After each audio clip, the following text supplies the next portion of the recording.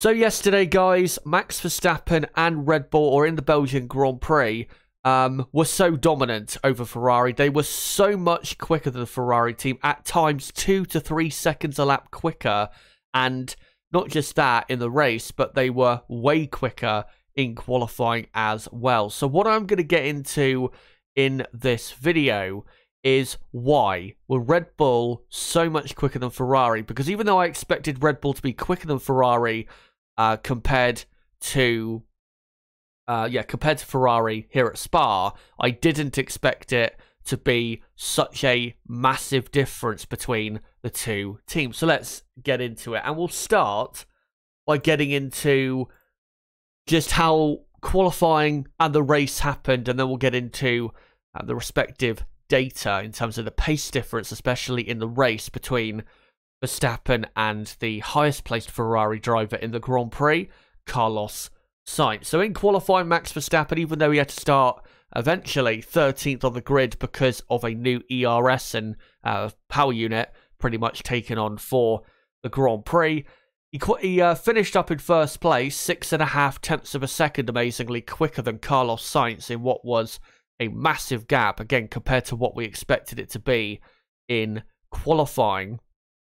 And starting from 13th, because of just how quick he was in the qualifying session on Saturday, there was a big fear from Ferrari and even quite a big expectation that Max Verstappen was not only still going to compete for the victory on the Sunday, but was probably going to win the race on the Sunday, even though, again, he was starting from P13.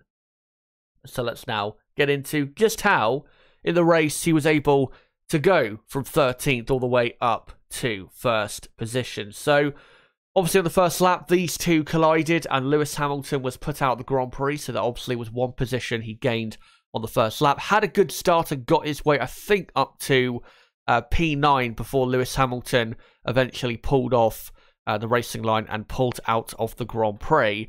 And when the safety car uh, came back in, Max Verstappen was in a very good position because not only was he in eighth place, but because of the safety car obviously closing the pack up, it meant that once he quickly got through the midfield cars, such as I think Aston Martin of Sebastian Vettel and the Alpine of Fernando uh, Alonso, he was now not too far off the lead, only about four to five seconds off the lead. When if there had not been, been a safety car, may have been a slightly bigger gap. So that definitely did help Max Verstappen, but um, he still obviously had incredible pace as he found his way up in the top three by I think it was lap eight or lap seven of the Grand Prix, and then eventually uh, once Carlos Sainz, uh, who started on the soft compound tyres, same with Max Verstappen, by the way, who also started on the soft compound tyres. Once Carlos pitted, uh, which was, you know, his first pit stop was a few laps before Max, Verstappen impressively and very quickly disposed of his teammate Sergio Perez, even though Verstappen's tyres were definitely wearing out more so than Perez's, but Max's pace was absolutely incredible compared to Sergio Perez because once he overtook him, he pulled out, I think, a three or four second lead over Perez.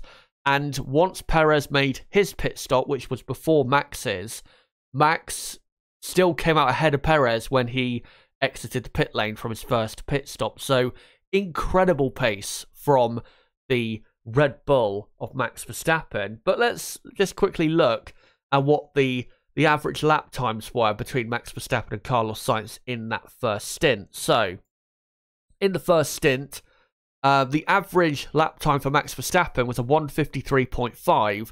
For Carlos Sainz, who led, um, or in his first stint, was leading the race and had no um, dirty air from any cars ahead, was doing a 153.4.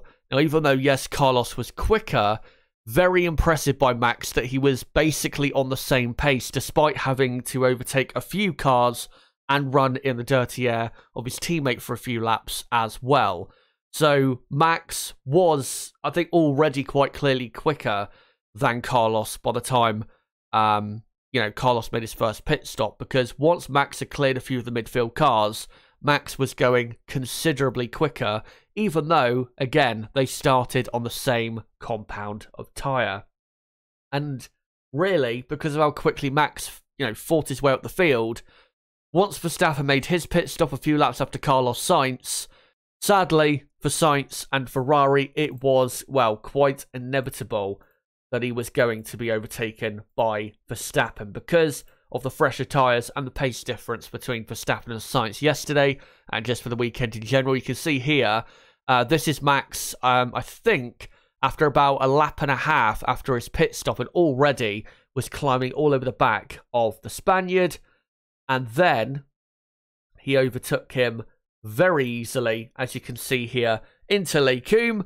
And Carlos Sainz would not see the back of Max Verstappen again until um, the checkered flag. So, yeah, an incredibly quick move up to first place. I believe this uh, overtake for the lead was made on lap 16, 17, or maybe even lap 18. I can't remember exactly, but again, incredible how quick he was able to get into the lead of the race. Not even, um, we weren't even at half race distance yet. So, incredible pace there from Verstappen. But let's get into the pace difference between Verstappen and Sainz in the second stint, which is really what lost Ferrari and Carlos Sainz the Grand Prix. And we'll get into, of course, like I did with the first stint, the average lap time difference between Max Verstappen and Carlos Sainz. And you're going to be amazed by just the pay, uh, pace difference between the two cars. Max Verstappen's average lap time in the second stint was a 152.2. Carlos Sainz's average lap time in the second stint was a 153.7. Yes, on average in that second stint, Max Verstappen was 1.5 seconds quicker in that stint, and at times on certain laps was 2 2.5 seconds quicker. I know Max was on fresher tyres, which of course it does give you maybe an extra few tenths of a second, and the Red Bull was quicker. But this type of pace difference between these two cars that have been pretty equal this season should not really be a thing. And it was amazing to see during the Grand Prix. Carlos not only was losing so much time per lap, he was losing at best one second a lap in the middle sector alone. And we'll get into exactly why that was um, in a moment with some analysis from Automotor and Sport, um, a great publication in the Formula One world that analysed just why were Ferrari and Mercedes so much slower compared to Red Bull, why were Red Bull so dominant um, at Spa. Uh, but even um, and actually, before we get into the third and final stint of the Grand Prix and the difference in average lap time, if we look at Carlos Sainz, again, 153.7 on average for his uh, average lap time in the second stint. In the first stint, he was actually, on average, three tenths of a second quicker, which doesn't make any sense because normally in a Grand Prix, uh, with the fuel load coming down, the track rubbering in more, and you know that means more grip and with Sainz on the medium tyre for his second stint, which would have had more grip for longer, and I think was just a better tyre yesterday in the Grand Prix than the soft. I think that was pretty clear to see. Carlos should have been going at least half a second quicker on average compared to his first stint, so should have been really in the 152s, but he was, again, three tenths of a second slower on average than his first stint, showing that the Ferrari was absolutely killing its tyres. Sainz's tyres really were gone after about four or five laps in that uh, second stint, and even in the final stint, um, his tyres were pretty finished after a few laps and couldn't really um, go that much quicker. And let's get into that final stint, just the pace difference between Max and Sainz. So Max Verstappen he would improve his pace in the uh, third stint. His average lap time was a 151.6. Carlos's pace improved quite a bit, and I think Carlos was on the hard compound tyre, so maybe in hindsight, um, Ferrari should have gone to the hard compound tyre for his uh, second stint, but even if he did, I don't think it really would have made that big of a difference. And yeah, he was uh, on average in the final stint, eight tenths of a second slower for Max Verstappen.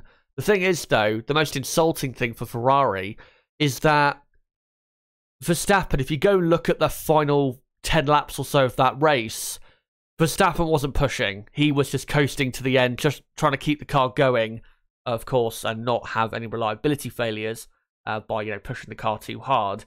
And was still, on average, eight tenths of a second quicker than Carlos Sainz. And, um, yeah, uh, I think the fastest lap difference as well between um, the Red Bull of Verstappen and the Ferrari of Sainz. I think Verstappen's fastest lap was a 149.3 and Carlos's fastest lap of the entire Grand Prix was a 151.9. That is 2.6 seconds difference. And when Max set his fastest lap of the race, it wasn't like it was on the soft compound tyre at the very end of the Grand Prix just to get the fastest lap. Verstappen was, I think, two or three laps into a medium compound tyre stint when Carlos was on, I think, the hard compound tyre I think, a few laps into his stint as well. So just shows you the incredible difference between the two cars yesterday in the Grand Prix. But just why was it so big, this gap? Well, let's get into that analysis by uh, Automotor and Sport and just looking at why Red Bull was so dominant compared to Ferrari. So this is what their analysis was. It said, quote, uh, Red Bull's exceptional superiority has a lot to do with the circuit, not just because Spa-Francorchamps demands more efficiency from the car than any other circuit. You need top speed in sectors 1 and 3. Obviously, we know the Red Bull in a straight line is so, so quick and was always going to be very quick in those sectors. Um, and downforce in the middle section, it says, with its 10 corners, nobody manages this balancing act better than the Red Bull because the RB18 generates more downforce via the underbody than any other car in the field, therefore doesn't put as much wing into the wind. Uh, they go on to say, but that's only half the benefit. Spa is a special case in terms of the car height due to the compression in Eau Rouge and a nasty bump in the Stavelot corners. In order to alleviate the impact at these points, the teams have to set their cars 5 to 6 millimeters higher than usual this would have happened. This is very important to remember in terms of the new technical directive. This would have happened, they say, even without the technical directive, which many teams had hoped could become a stumbling block for Red Bull and Ferrari. So, if that is indeed the case, then we haven't really seen the effects of the technical directive as of yet, and we probably will this weekend in Holland for the Dutch Grand Prix at Zandvoort. And then they finally go on to say in fact, this time the ground clearance had to be increased by a bit more than the engineers had calculated. This was due to the ominous bump between turns 14 and 15, which is, yeah, I think that's in between the two Stavelot corners, I'm pretty sure. Um, and then it goes on to say this put Ferrari and Mercedes in a window in which their aerodynamics no longer delivered the downforce that they were used to. As a consequence, both teams had to trim the chassis harder than usual uh, which also cost mechanical grip. And that's why, a uh, big reason I think why Ferrari were so slow in the middle sector yesterday compared to Red Bull. And then it goes on to say the Red Bull felt comfortable with more ground clearance and therefore also reached its normal form. And yeah, credit to Automotor and Sport. Um, a great publication when it comes to Formula One, probably the best out there, I'd say. So if you are uh, German, you absolutely have to be um, you know, reading what they have to say. And even if you're, you know, English speaking or from whatever um, other country that speaks a different language than German, if you're able to um, to translate their um, articles into the language you do speak, then make sure to check out their stuff because their stuff is absolutely top quality. But because, as they say, of the um, the alterations that Ferrari had to make to their car, that's what uh, caused them to be not just in the race, but in qualifying as well, so slow compared to Red Bull in the middle sector, where a lot of us were expecting the Ferrari to really come alive in that middle sector, but it just never happened.